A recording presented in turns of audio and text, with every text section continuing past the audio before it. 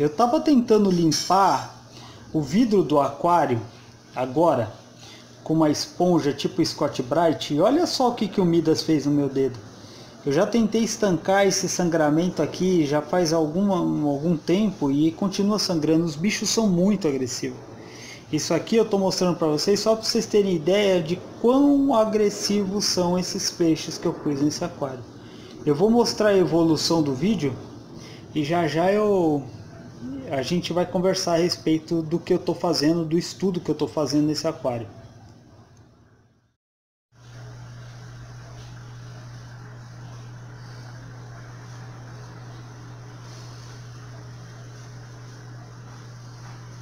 Olha aí pessoal, já fazem quase seis meses que eu iniciei essa série, porque eu queria provar uma teoria que muitos dos aquaristas mais renomados falaram que era impossível, eu estou provando que isso é possível. Eu estou com Oscar Tigre, ele já deve estar em torno aí com uns 22, 25 centímetros. Esse outro aqui, ó, que é um Floorhorn, ele deve estar em torno aí dos seus 17, 18 centímetros. Os papagaios estão aqui.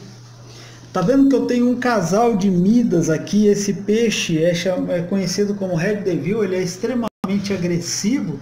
E vocês viram aí no início do vídeo, esses carinhas aqui bicaram aí, ou como se fosse atacaram a minha mão de uma forma muito violenta que ainda está sangrando.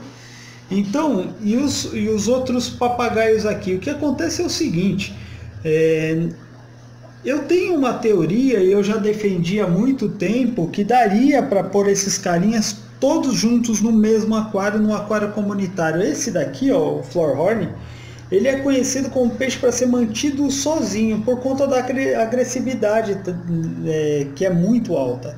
Os papagaios também são reconhecidos como peixes extremamente agressivos. O Oscar tigre, então, esse peixe aqui é um canibal nato. Os midas, que são conhecidos como diabo vermelho, também estão ali, um casal de midas já adulto, já, já botaram várias vezes aqui dentro do aquário. Tem mais papagaio aqui. Então o que acontece é o seguinte, isso aqui é o fechamento assim de uma, uma, uma teoria que eu já mantinha há muito tempo, que era possível manter peixes muito agressivos dentro de um mesmo aquário com uma, uma certa harmonia, ok? Então assim, as minhas teorias estão sendo comprovadas aqui.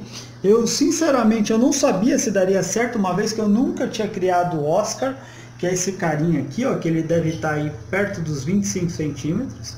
É um peixe que já está assim muito grande. Esses papagaios também são muito grandes. Você pode ver que, a, que ele é híbrido e ele tem assim uma uma uma cara bem bem agressiva mesmo. E junto com o Floorhorn. Isso aqui tudo, ele tá de uma certa forma com uma, uma harmonia muito grande, que não é normal, que muitos aquaristas falam que é impossível de acontecer. Tá aí, ó. Já estão quase seis meses juntos, ok? Claro que tiveram atritos, eles têm atritos frequentes, eles são peixes muito agressivos. Os únicos que são mais tranquilos aqui dentro desse aquário são realmente os polipteros que são esses dois carinhas que estão aí, ó, a carinha deles lá no fundo da toca. Um Polypterus com uns 30 centímetros e outro com uns 20. Então esses carinhas, eles são tranquilos. Agora os outros, os outros são muito briguentos. Mas como é que eu consegui manter isso aqui em harmonia, sem se matarem, sem grande problema? Mesmo sabendo que são peixes extremamente territoriais e agressivos. O que acontece é o seguinte, esses papagaios aqui, ó, eles mantiveram a ordem, porque são papagaios antigos, eles mantiveram a ordem dentro desse aquário. O que eu pude observar aqui dentro dessa, desse, o que, que deu ruim nesse, nesse estudo é o seguinte, alguns dos peixes mais sensíveis ou mais medrosos não puderam ficar dentro do aquário, então eu tive que tirar o papagaio Kirin, que ele, era, ele é muito medroso, eu tive que tirar daqui de dentro, não deu certo. E o velho Jack, que está aí com 8, 9 anos. Então eles eram muito perturbados. entendeu? Não chegaram a machucar nem nada, mas eles eram perturbados, principalmente pelo Floorhorn e por, pelo Jack. Eles não aceitam que tem um peixe fraco dentro do aquário. Então eles ficavam perseguindo, perseguindo por, por cuidado mesmo que eu tenho. Eu já sei que se a gente deixar os peixes é, que estão sendo perseguidos dentro de um aquário, vai dar problema. Ele vai baixar a imunidade e com isso, com o tempo, vai, dar, vai desenvolver alguma doença é, relacionada com o estresse. Então esse Floorhorn, se você olhar, ele provavelmente é uma fêmea, mas olha o calo nupcial, esse calombo na testa, já está bem grande. Se ele tivesse que matar algum peixe, ele já teria matado. E eles estão todos aí dentro do aquário. O, o esse Oscar aqui, ó, ele já está gigante. E ele também está vivendo dentro do aquário. Então isso aqui é uma prova de que essa minha teoria de que dá sim para ter peixes muito, muito, muito agressivos dentro de um aquário é possível.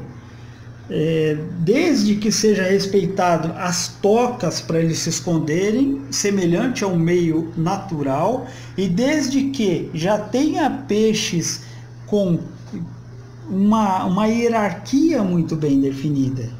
Quem mantém a ordem aqui são esses dois carinhas aqui com, com esse daqui. Quem mantém a ordem dentro desse aquário são esses daqui. Mas se vocês repararem, se eu colocar minha mão dentro desse aquário, os peixes vão me atacar. Porque eles são muito, muito, muito agressivos. Só para mostrar para vocês, eu já fiz no outro vídeo, eu vou fazer de novo. Olha só eu abri a tampa do aquário, ok? E eu vou pôr a mão dentro do aquário só para vocês terem ideia do que, que esse papagaio vai fazer, ó. Aí já começou a me atacar, já começou a me bicar. Esses daqui que fizeram o ferimento, ó, que são os, os midas, ó, olha só aqui, ó, ele vem imediatamente, ó. Se eu chegar com a mão perto de onde eles acham que é a toca deles, eles começam a se agitar e ficam muito bravos.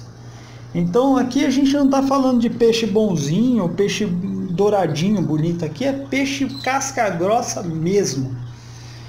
Entendeu? Então assim, mantendo um ambiente equilibrado, é possível sim colocar peixes muito agressivos dentro de um mesmo aquário.